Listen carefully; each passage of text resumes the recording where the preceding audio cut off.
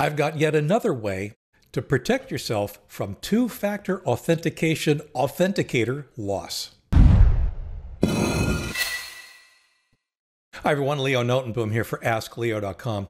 One of the very common reactions I get to suggesting two factor authentication, of course, is what happens when I lose my two factor authentication device, especially if you're using a smartphone with the Google Authenticator or equivalent app on it.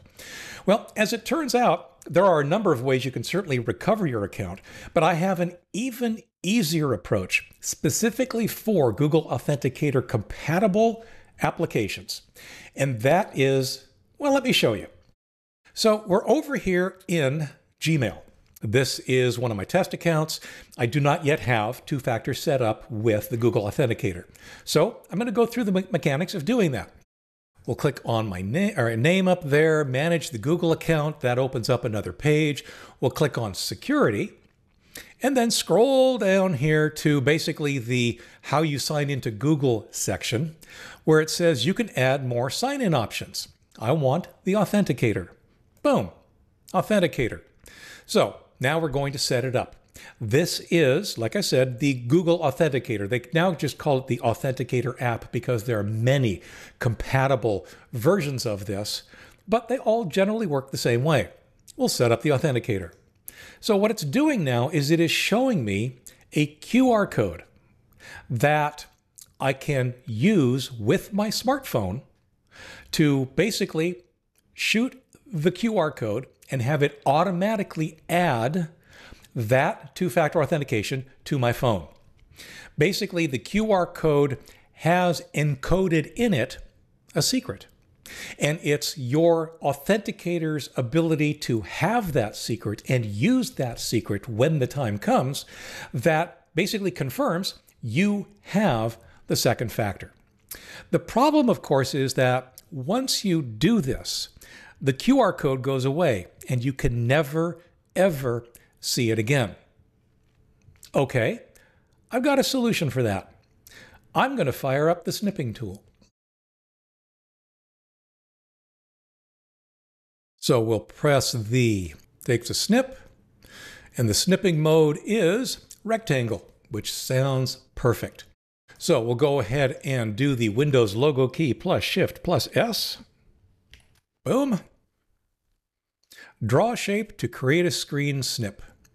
And the shape that I'm going to snip is the QR code that has been placed into the clipboard and it has now been saved into my pictures folder. In fact, I'll fire that up, go over to pictures, and screenshot folder, and there it is. That's the screenshot that I just took. Why did I do this? Because it's the QR code that basically establishes the relationship between the service and the phone. If you lose the phone, the only way to reestablish that normally is to turn off two factor authentication, turn it back on again, so that you get a new QR code that you can scan with your phone. This way, we don't need a new QR code. We can simply get our replacement device, install the Google Authenticator or other Authenticator app, and scan the screenshot that we took of the QR code. That way, you don't have to disable two factor authentication. You don't have to go through any of those other hoops. All you need to do is to be able to scan that QR code. But if you can't, Let's say for some reason your phone's camera isn't working, or for whatever reason, maybe you just don't have one, but you still have the ability to have a two factor authentication app of some sort. Well, that's what this can't scan it is all about. I'll click on that, and what you'll see now is this it's a text string that I can now copy and paste somewhere. This is a different representation of the same secret that was encoded in that QR code. You can copy and paste this into a text document and save it somewhere. That way, if you need to set up your second factor again without turning it off and back on again, you can use this code or the QR code. Either one will work. I will tell you, this absolutely works because I've been doing it longer than, I think, since the introduction of QR codes. I just realized that this may very well end up being a problem. So, this is a very simple way of basically saving your two factor authentication information in a way that you can reuse it rather than having to recreate it. Now, I can hear some of you already worried about the security, and you should be, because what has happened is that we have placed a file that has our QR code into what is essentially an insecure location. This is just my pictures folder on my PC. Anybody could walk up to it and take a look at the image and basically capture that image themselves, set up their own two factor authentication, whatever. So, be it the QR code or the text code, it is important to make sure that those are saved in a secure location. What that means typically is encryption. The other approach, and this actually works for both the QR code and the text string, is you absolutely can print them off. On a single piece of paper, print the QR code, nice and big if you can, and put the text string down below it, print that and then erase everything from your, you know, erase the QR code and the string from your computer.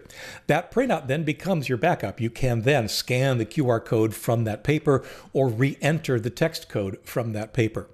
But the important thing to understand here is that once you've saved your QR code or your text code, it's important to save them in a secure location, one that other people can't get into, but that you can should the time ever arrives.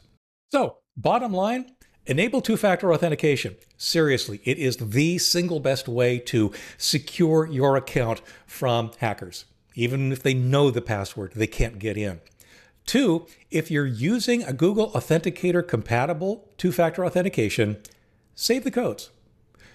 Take a screenshot of the QR code or save the text string and put that in a safe place.